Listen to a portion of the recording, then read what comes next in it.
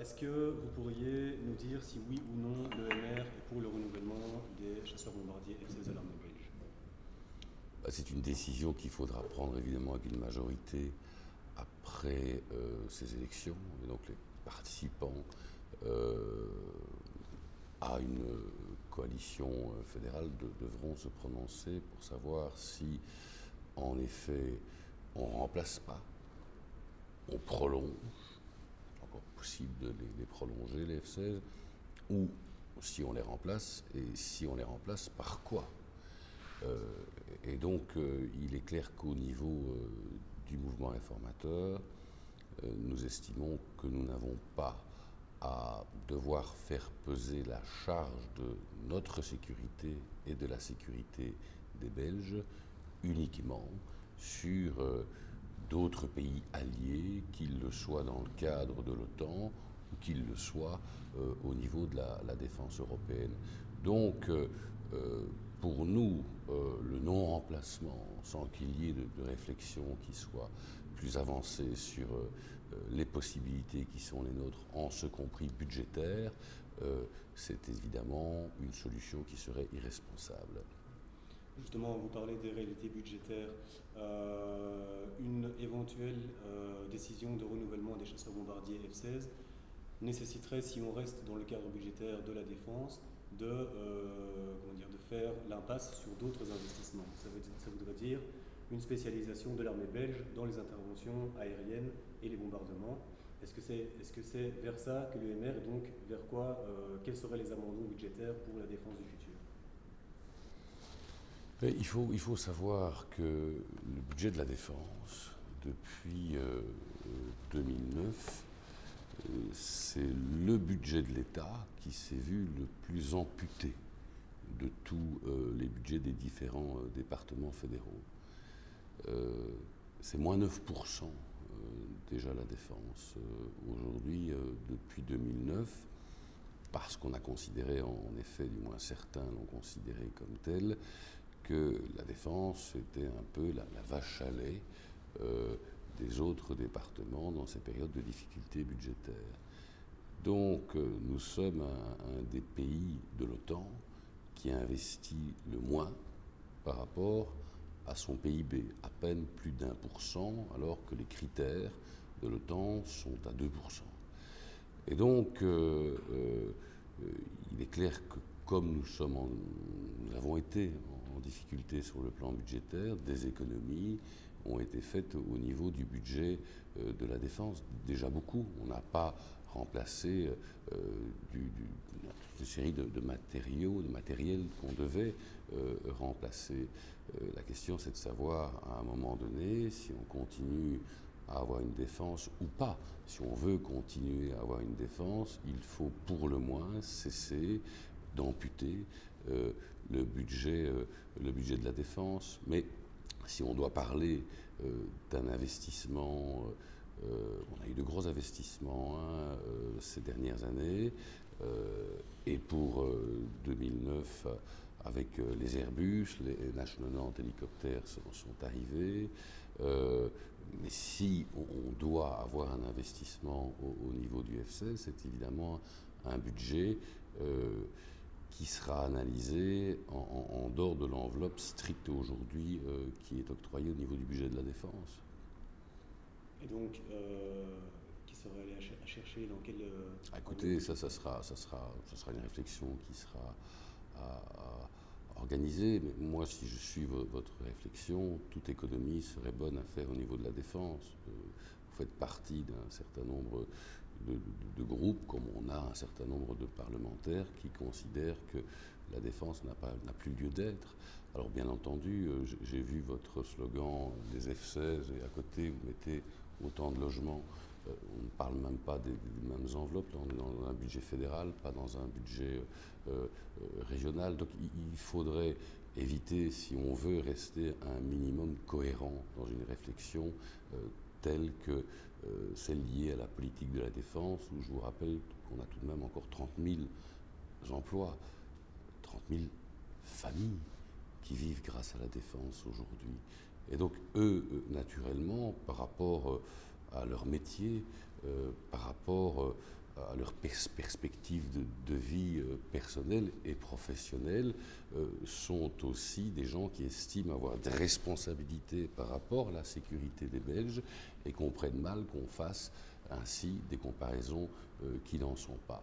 Donc la, question qu'on doit se poser par rapport aux investissements futurs au niveau de la défense nationale, c'est de savoir si on laisse peser la charge de notre sécurité sur d'autres.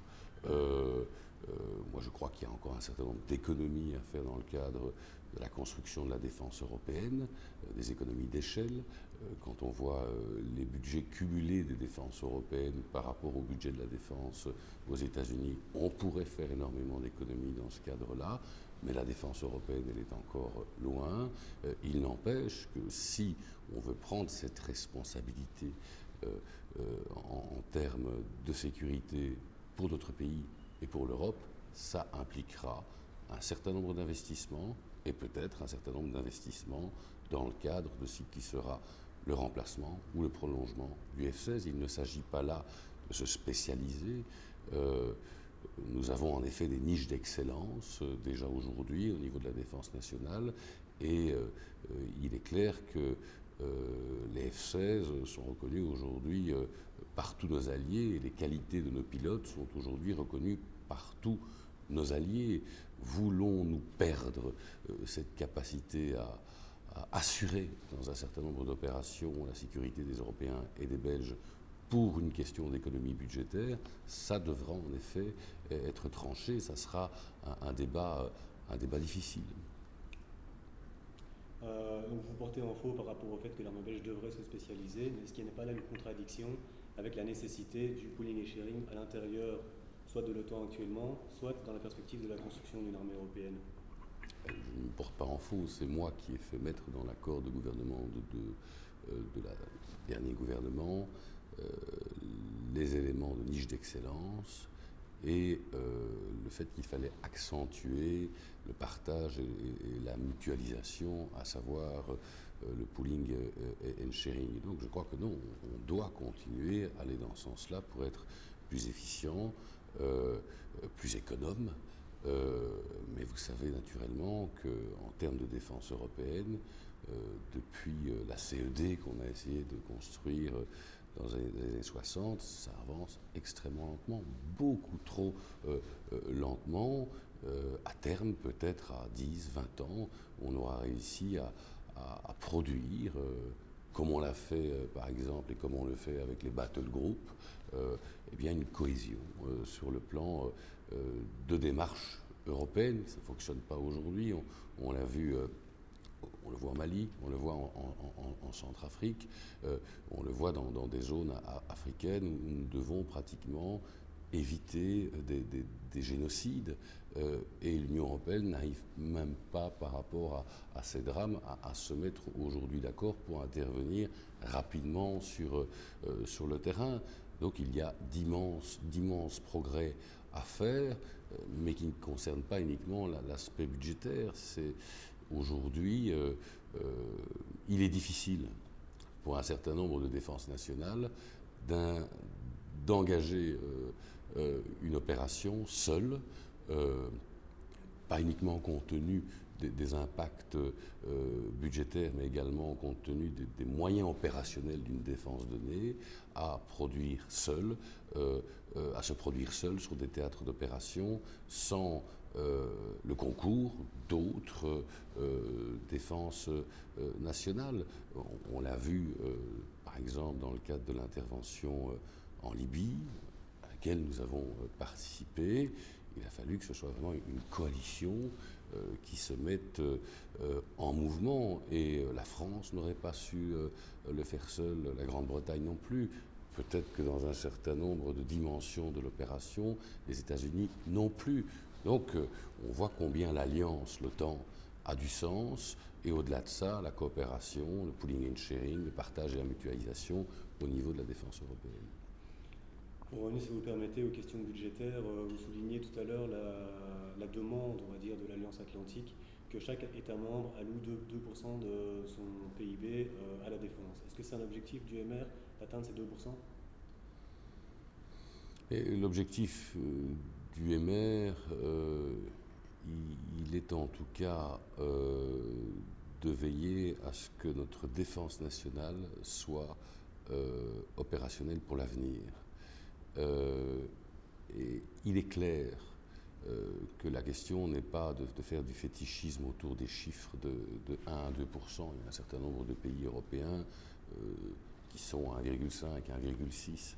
Euh, je pense que si on passe sous la barre des, 1%, on aura du mal à être tout à fait efficace avec, avec, notre défense nationale.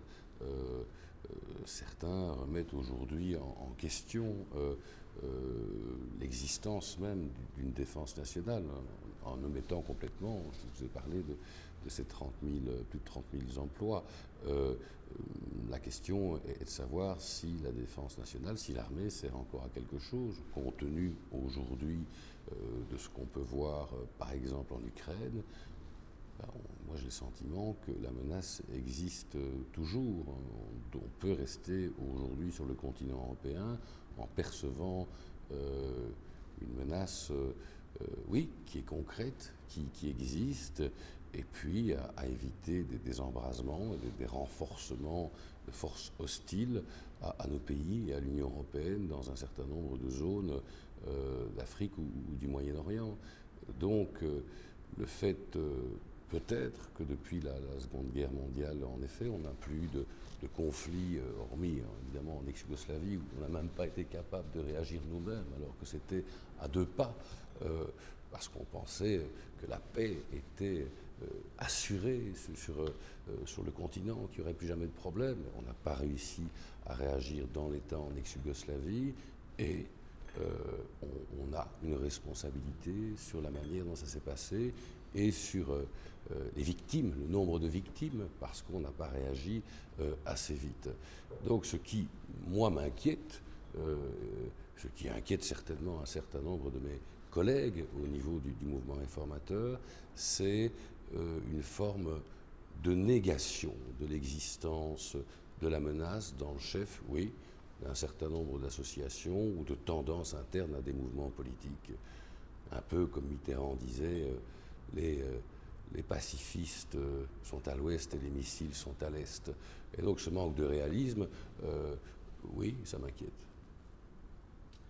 J'ai encore deux questions. Justement, euh, concernant ce réalisme, réalistement, la, possibilité du remplacement des, avions F-16 coûterait, dans le, les chiffres qu'on a actuellement, entre 4 et 6 milliards, plus, si on achète 40 avions, 288 millions de frais de fonctionnement par an. Donc des investissements conséquents vu le budget de la défense, en tout cas dans son état actuel. Quelle est la vision euh, du MR, de l'armée belge, euh, d'ici à 10 ans? Vers quoi est-ce qu'on devrait se diriger? Ben, Vous omettez un élément fondamental par rapport euh, au dossier lié au remplacement du F-16, c'est le retour industriel, c'est le retour en termes d'emploi.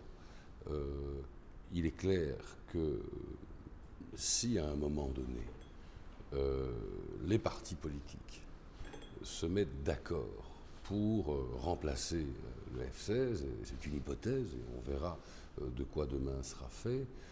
Pour ce qui concerne le MR, si cela devait être fait en fonction des différentes offres possibles, qui sont pour certains le, F-35, le Rafale, le Gripen, Boeing se met également en, marche, bien c'est qu'il y ait un retour industriel, c'est que ça crée en, Wallonie, à Bruxelles et en Flandre des milliers d'emplois à long terme.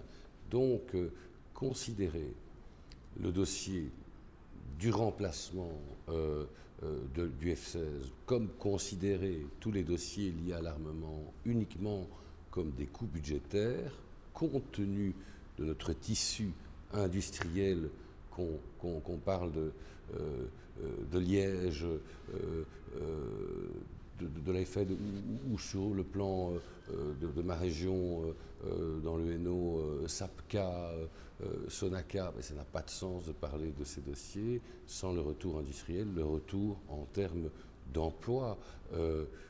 notre sécurité, investir pour notre sécurité, doit également créer de l'emploi. Euh, et donc ce n'est pas un coût brut, naturellement, dès lors que euh, vous créez de l'emploi et des moyens supplémentaires pour des milliers de familles.